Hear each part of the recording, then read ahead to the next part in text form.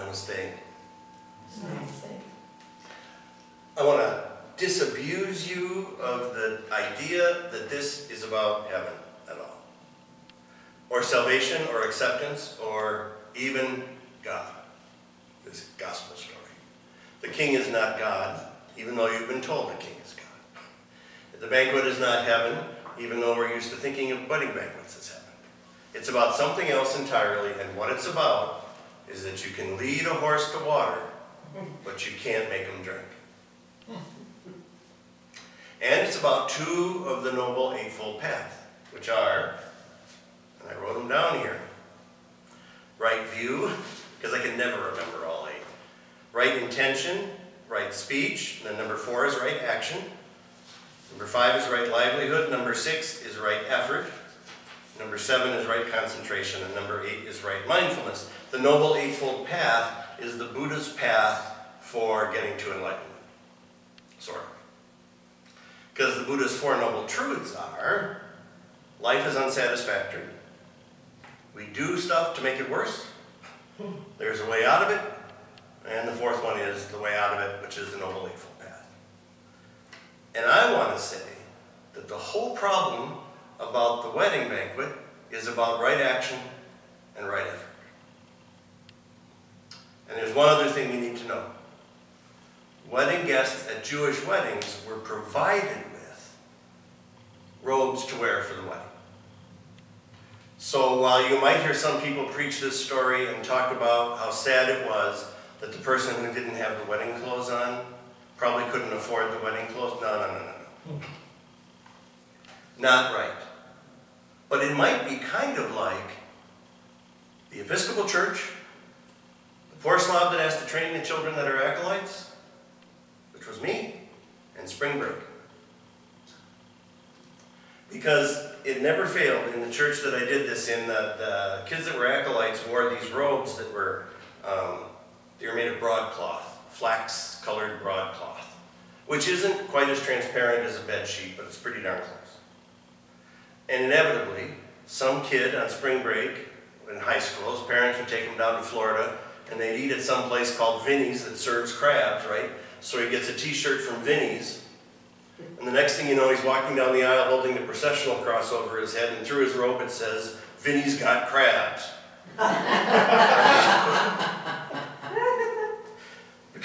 because he didn't stop to think that that was going to show in those big bright letters through this not quite transparent wedding garment he put on.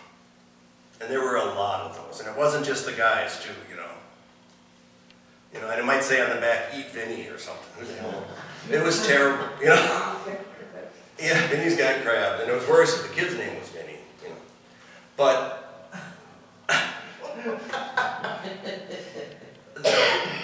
this isn't, to me anyway, a story about what makes you acceptable to God at all. It's a story about how much we resist what I want to call spiritual evolution. How much we run away from, for a whole pile of reasons, whatever it is that's best for us. Whether it's a kid saying, you know, this Vinny eats crab, or Vinny's got crabs, this is going to show through that robe. And you know he's going, but this will fire him up. so he wears it anyway, and you know, they make, we make him turn it inside out, and then all that happens is those of us who've gotten good at reading things backwards go, look, it says Vinny eats crabs, and they made him turn it inside out. He's actually got crabs. Yes, yeah, he does. He probably, well, anyway. We like to think that we're all chomping at the bit for what's best for us. But we all aren't. All you have to do is be around a teenager. And you know that we all aren't chomping at the bit for what's best for us. In fact, they are often chomping at the bit for what's worst for them.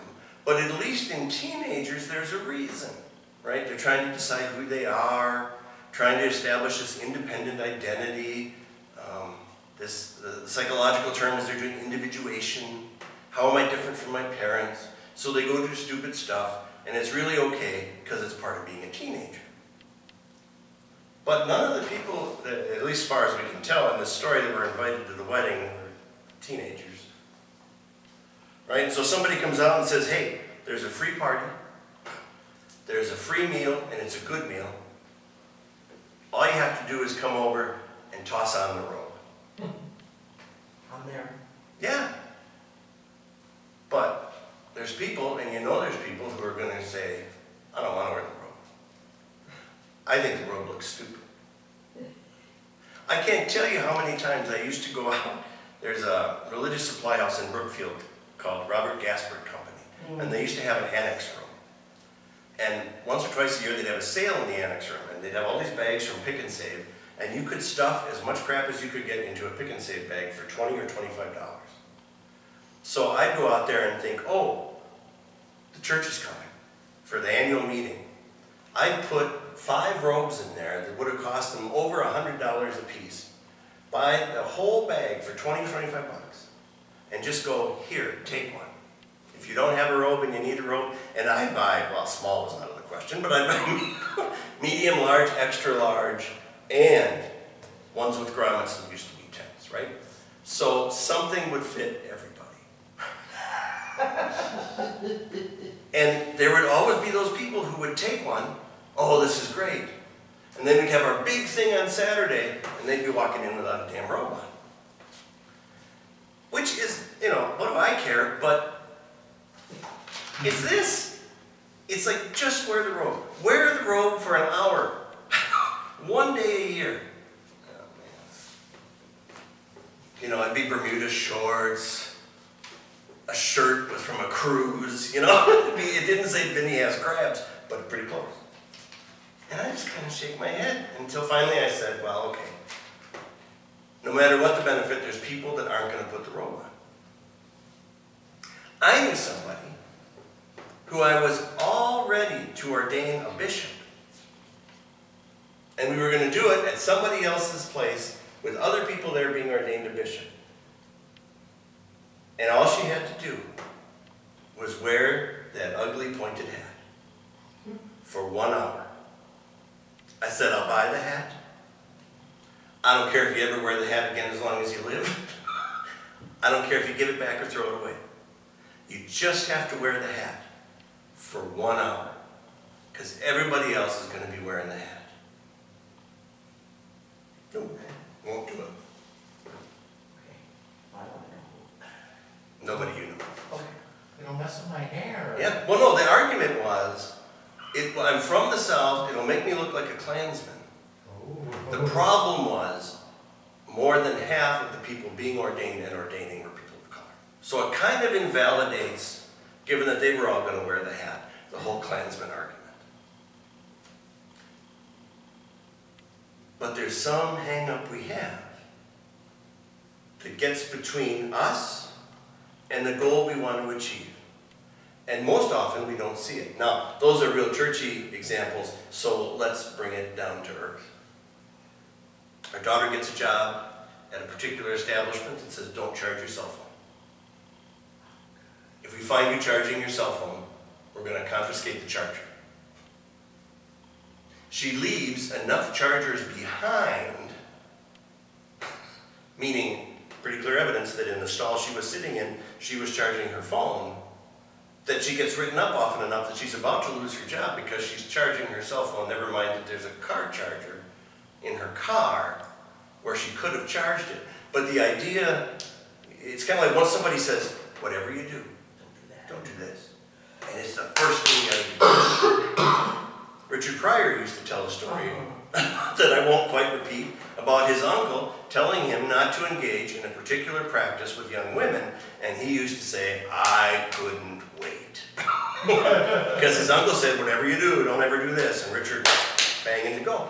No pun intended. There's choice of words there, bud. Yeah, well, it wasn't quite that. It was a preliminary practice. Uh, but it's, it's true. There's something about our nature that if somebody says, you can do anything but this, there's something in us that makes us go, wonder how I can do that and get away with it. you know, maybe if I only do it for a little bit. Maybe if if I do it for just a second. Maybe if I only fantasize about doing it. Or somebody says, you come into the feast, toss on the robe. And not only are we saying we don't want to wear the damn robe, we're not even smart enough to stay away from the feast. I mean, I mean, at least the, any of the people who said, I have other things to do, were really thinking, man, I don't want to wear that ugly robe, but I'm not going to tell them that's the issue. I'm just going to say I'm busy.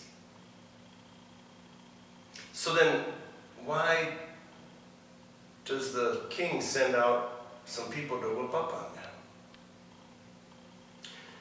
Because they too having, I think metaphorically now, not literally, but having opportunity laid open before them, decided something else was better.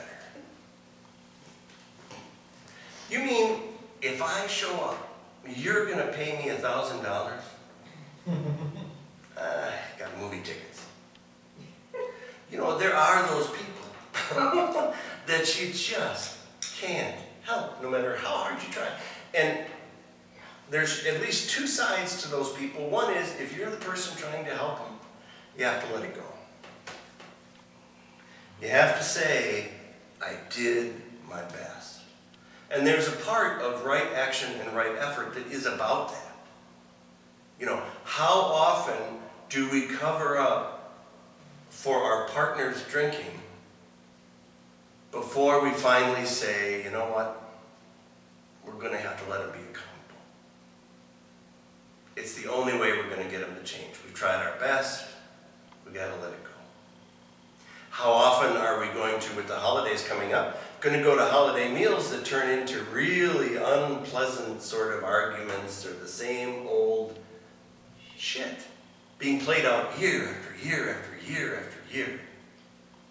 I like I love this wasn't year after year, but my dad's father could pray forever. Saying, when, I, when my dad said, Dad, would you like to say grace? It was like, well, the food's going to be cold now. Because he, was a, he was a high school teacher, but he was a Methodist uh, lay minister who had a church during World War II. It was like, holy shit. Worse than that, I think he'd probably been Evangelical United Brethren or something, most of them were, which is like a Methodist Nazi. You know, Methodists are methodical. These are obsessive compulsive Methodists, right?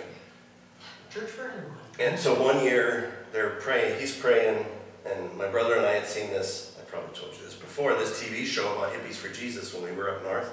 Yeah. And it must have been my brother's birthday in September, and um, my grandpa starts praying, and you know, five minutes later he's done. My brother, who's like eight or nine, looks up and goes, right on with Jesus.